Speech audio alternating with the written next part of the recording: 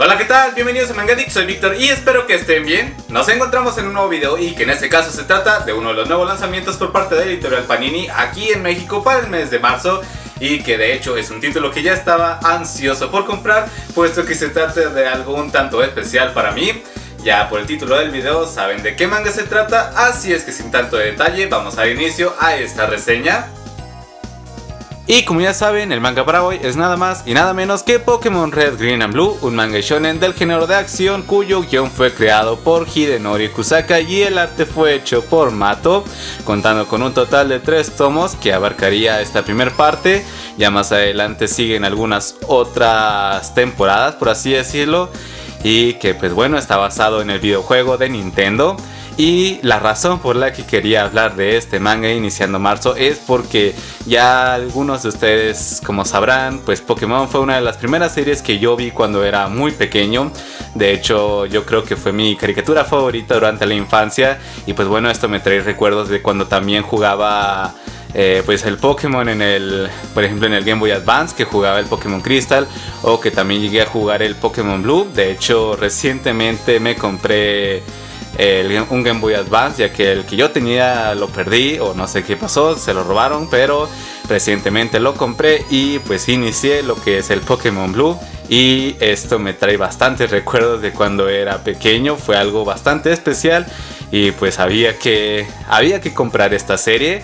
Y como la mayoría de ustedes ya conocerá, la historia nos presenta a un joven entusiasta quien vendría a ser nuestro protagonista conocido como Red, el cual en un inicio vemos que se encuentra con unos niños los cuales están intentando atrapar a un Pokémon, el cual vendría a ser un Nidorino, pero que esto simplemente no logran hacerle nada. Ahí es cuando nuestro protagonista les comenta un poco sobre las bases de todo este asunto de los Pokémon, en el que primero para poder atrapar a uno de estos Pokémon salvajes tienes que debilitarlo haciendo que pelee contra uno de tus Pokémon y así poder utilizar una de las Pokébolas y atrapar a uno de estos animales. Y que luego de esa breve demostración los chicos se ven bastante sorprendidos con las habilidades de Red el cual luego menciona que viene a ser un entrenador Pokémon y que busca convertirse en el mejor y atrapar a todos los Pokémon existentes.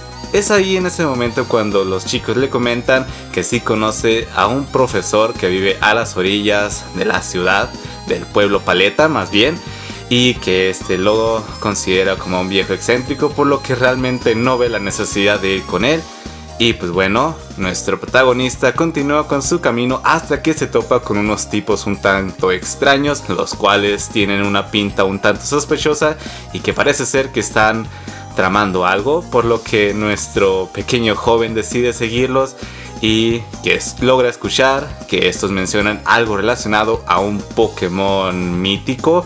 Así es que pues decide intentar ver qué es lo que está pasando con este Pokémon misterioso y se adentra en lo que es el bosque del oeste intentando atrapar a este Pokémon. Al llegar a este bosque de noche se encuentra con un chico un tanto misterioso que está peleando contra un Pokémon que bueno, nuestro protagonista no logra identificar y que esto le ha llamado la atención. Pero también otro detalle que ha llamado la atención de nuestro protagonista es que el chico se retiró inmediatamente luego de haber hecho su segundo ataque en contra de este Pokémon misterioso y de cierta manera frustrado y queriendo aprovechar la situación, pues nuestro protagonista saca a su Pokémon Poliwhirl y que este termina siendo derrotado por el Pokémon eh, misterioso, a lo que el chico con el que se había topado simplemente le comenta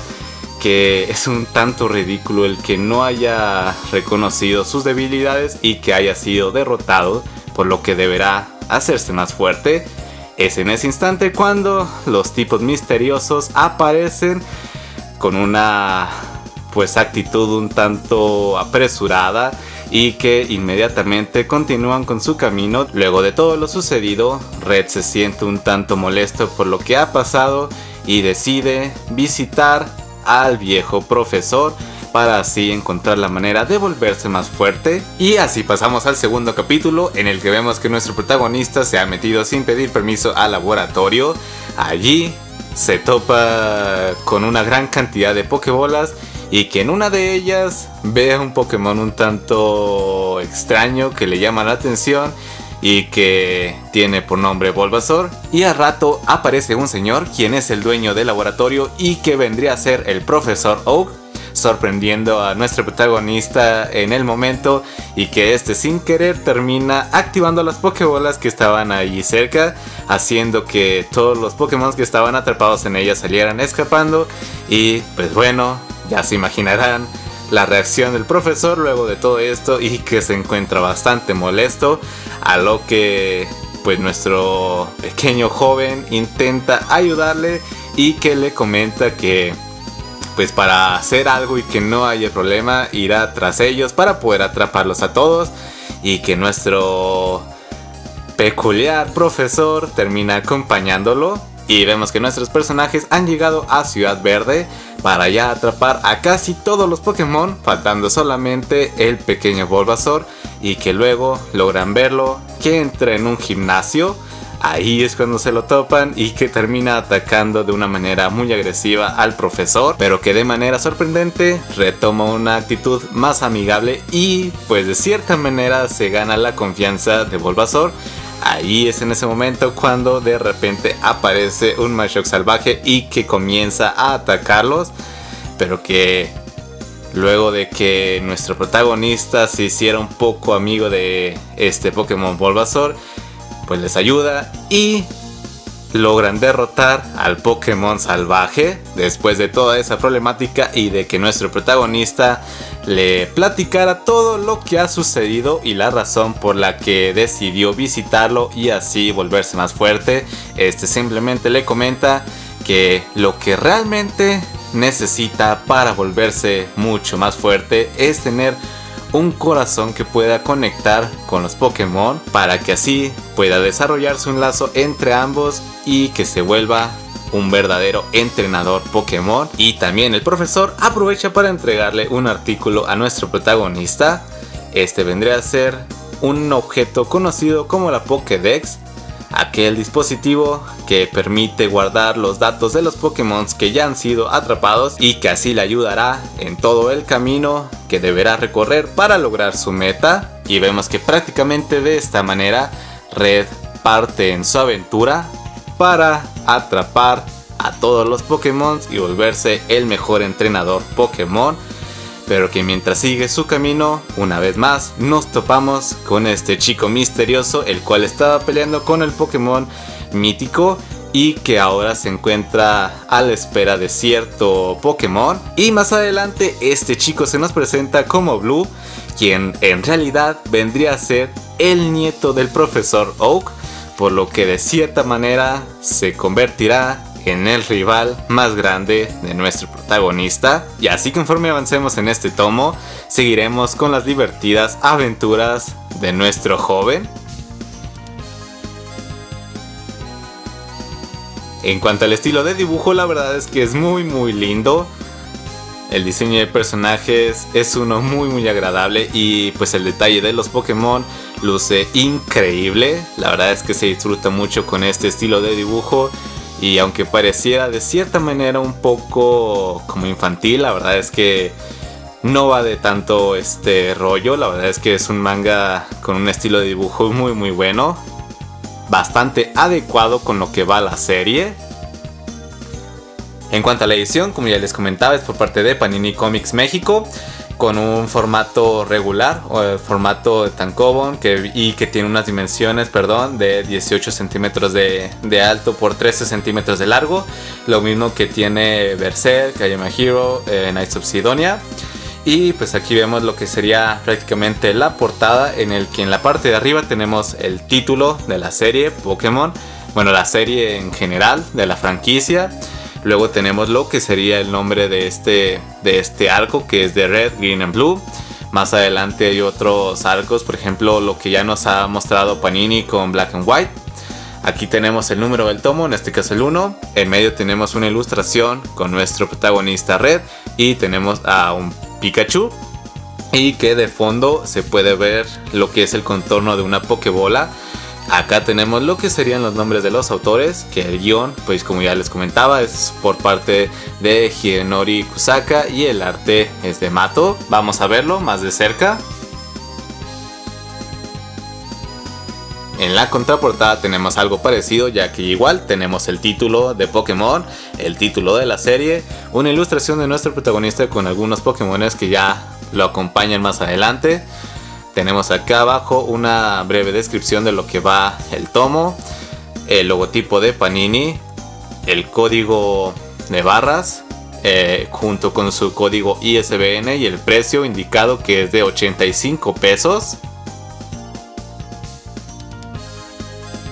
En el lomo tenemos hasta arriba el logotipo de Panini, seguido de una ilustración que a veces se coloca en el lomo, que también bueno, en este caso eh, viene a ser lo mismo que es lo de la portada.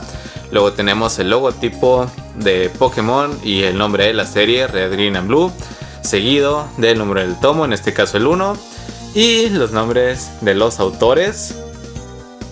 En cuanto a la calidad del papel, es el que ya conocemos manejado por Panini, hojas no completamente blancas, pero que no llega a un color demasiado amarillo o algo así. El entintado está muy muy bueno y el gramaje de las páginas es uno de buen grosor. No son eh, pues páginas delgaditas como lo que ya conocemos.